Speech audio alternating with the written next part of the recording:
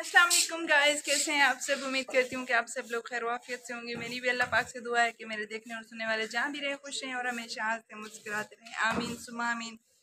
इसी प्यारी सी और छोटी सी नेक दुआ के साथ चलते हैं। आज की वीडियो का आगाज़ करते हैं तो जुड़े रहिए हमारे साथ वीडियो को स्किप बिल्कुल भी नहीं करना। गुड मॉर्निंग सबसे पहले तो आज सुबह की रूटीन शेयर कर रहे हैं आप लोगों के साथ और मुकदस जो है अपने काम में लगी हुई है। शम्स अभी नमाज़ पढ़ रहे हैं तो हम सबने नमाज़ कुरान पाक पढ़ लिया है और मुस्कान भी अपना काम कर रही है, झाड़ू लगा रही है।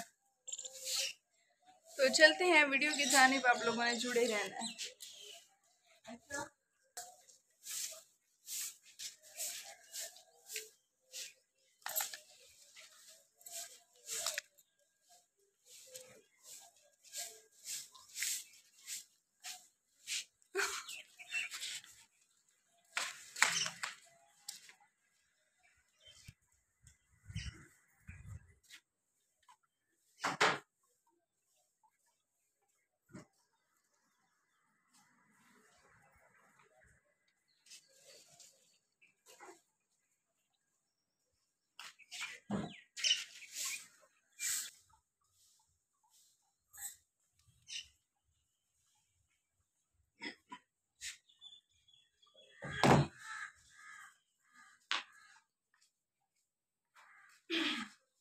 ये देखिए वीवर्स ये है चाय नमाज़।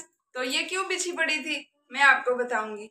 ये सुबह का टाइम मतलब कि अजान से पहले तहजद के टाइम हस्बैंड उठते हैं तो वो तहजद पढ़ते हैं तो अकेले बैठ के अंदर मतलब कि रूम में बैठ के तहजद पढ़ते हैं और फिर अल्लाह से बातें करते हैं, अल्लाह से दुआ मांगते हैं कि बहुत सी दुआएँ होती हैं, बेटियों के लिए होती हैं, सब के लिए फैमिली के लिए, पाकिस्तान के हालात के लिए बहुत सी दुआएँ होती हैं।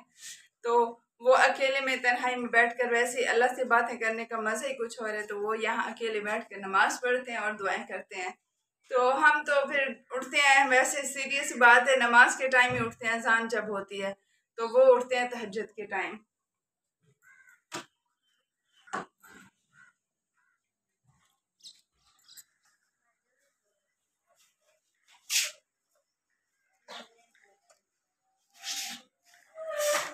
अभी पंखे की बारी है पंखे को रखते हैं अंदर।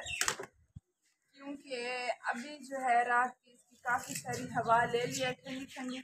और अब इसका टाइम है अंदर रखने का, अंदर रखेंगे और अंदर ठंडी हवाएँ लेंगे और अंदर चलाएँगे इसको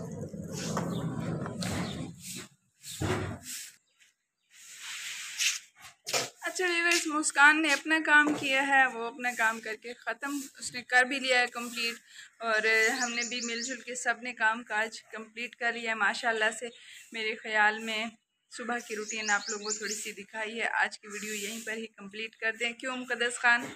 नहीं अभी तो थोड़ी सी है। नहीं काफ़ी है। तो सामने आ जाओ ज़रा। तो आज की वीडियो यहीं पर ही करते हैं कंप्लीट इंशाल्लाह मिलेंगे एक और न्यू वीडियो में। तब तक के लिए अल्लाह हाफिज़। अल्लाह ने के बाद दुआओं में याद रखिएगा। आपकी अपनी मुकदस खान। बाय बाय हाफिज़।